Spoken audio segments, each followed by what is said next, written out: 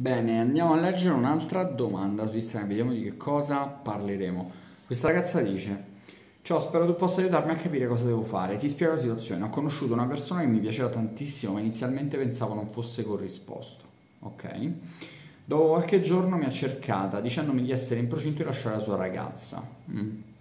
Da quel momento ho cercato di stare il più possibile sulle mie perché non volevo creare problemi, ma purtroppo mi ci sono legata e non poco, dice questa ragazza c'è stato un incontro con un bacio dato a lui. Da quel momento ha deciso di iniziare a conoscermi lasciando le spalle alla sua ragazza. Stava andando tutto benissimo fin quando ho sentito la necessità di dire che un suo amico stretto aveva provato a baciarmi prima di conoscere lui. A cosa serve dire questa cosa? Perché era un suo amico stretto, ok. Ma comunque, cioè lui aveva un'altra ragazza, quindi che cazzo te ne frega a te? E purtroppo dice l'ha presa molto male, ha deciso di chiudere la conoscenza e mi ha offerto un'amicizia. Bene, questo mi sembra una persona che comunque ha ritrattato un rapporto nei tuoi confronti, quindi l'ha ritrattato perché? Forse per un motivo d'orgoglio, forse perché ti ha scambiato con una poco di buono, quando in realtà il poco di buono sei, eh, sei tu, è lui, siamo tutti, sono io, siamo tutti quanti, cioè ma stiamo scherzando?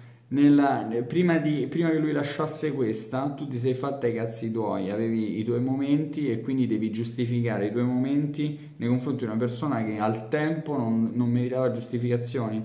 No, questo è sbagliatissimo. Quindi lui non merita giustificazioni ed è una persona incerta e l'hai scoperto subito, quindi ben venga. Però andiamo avanti, non ho letto il resto, quindi vediamo cosa ci scrive.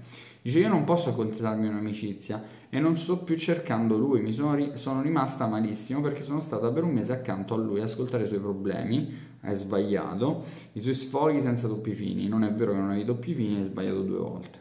L'ho fatto ridere tantissimo ed è stato proprio questo che l'ha colpito di me, è vero, questo per esempio piace anche a me. E non accetto che proprio ora finalmente la libera ha voluto chiudere una sciocchezza quando ho spiegato che con l'amico non c'è stato assolutamente niente se non questo bacio che mi ha rubato senza corrispondenza, storto il naso dicendomi che lui non accetterebbe fidanzarsi con una persona che è stata con l'amico. Beh, questo è un ragionamento mm, che ci sta, però eh, in questo caso specifico, capito, mi viene da storcere a me il naso, sinceramente. La mia reazione a quel bacio è stato uno spintone, non ho mai sentito quel ragazzo, non c'erano neanche precedenti. Dici che l'ho perso?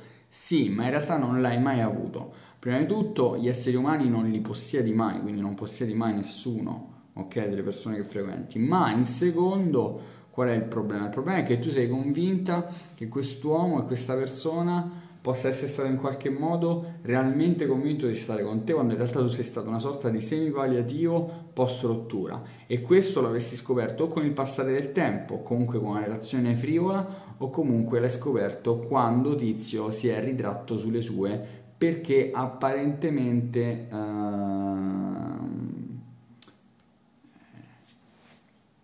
l'avresti avresti ovviamente saresti stata con uno e poi stata tra virgolette perché manco sei stata a letto con un suo amico stretto. Bene questo cosa ti deve far capire? Ti deve far capire che questa persona non riesce a passare oltre una, una sorta di soglia di orgoglio che è quella percepita, ma l'orgoglio è una scusa, quello che in realtà è reale è lo scarso interesse, perché ti ripeto, se fossi stato tu al posto suo e avessi avuto un forte interesse nei confronti della persona che frequentavi o che stavi conoscendo, saresti probabilmente passata su una sciocchezza simile. E questo vale per il 99% delle persone. Dubito che lui faccia parte dell'1% perché il suo modo di approcciarsi probabilmente è scarno e scarso, quindi non mi sento di elogiarlo in qualche modo, ma mi sento di quasi decomplimentarlo. Ok? E questo ti dovrebbe far capire che nel tuo caso sei stata pure fortunata, che questa persona non è una persona funzionale per te e dovresti essere contenta di averla perso.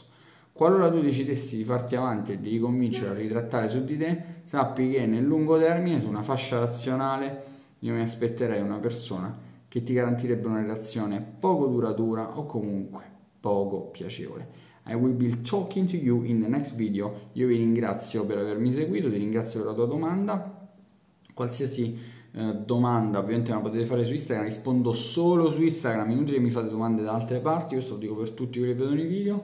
Nella descrizione trovate il link per prenotare una consulenza con me o eh, ovviamente eh, il link ai miei libri. Ti ricordo di iscriverti al canale, I'll see you in the next.